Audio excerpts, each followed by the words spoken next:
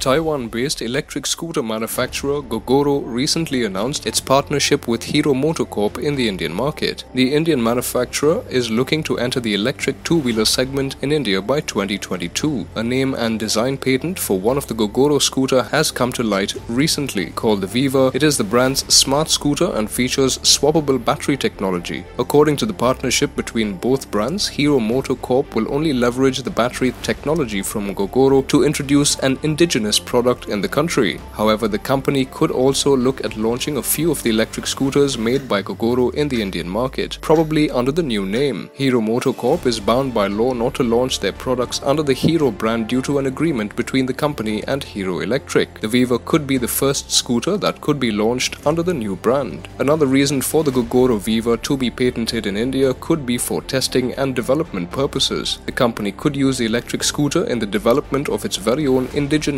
built scooter in the country. Speaking of the Gogoro Viva scooter itself, it is a plucky little scooter on paper. The scooter weighs only 80 kilograms with the battery pack on board. The Gogoro Viva features a 3 kilowatt hub-mounted electric motor paired with a swappable battery pack. This gives the scooter a maximum riding range of 85 kilometers when ridden at 30 kilometers per hour. The scooter is also offered with two ride modes, normal mode and super boost mode. It also belongs to the brand's smart electric scooter range. It is offered with the brand's IQ system for remote and easy operation of scooters features. The scooter also gets paired to a smartphone application available for both Android and iOS users. Users can monitor the scooter's performance via the application. Other features on the scooter include a Class C LED headlight, a horizontal LED tail lamp, and LED turn signal indicators, an optional USB mobile charging port, and an LCD for the instrument console. The scooter is offered in two variants. The top spec variant is offered with a keyless entry. The Gogoro Viva is also offered in a plethora of colors in its home market. Thank you for watching DriveSpark.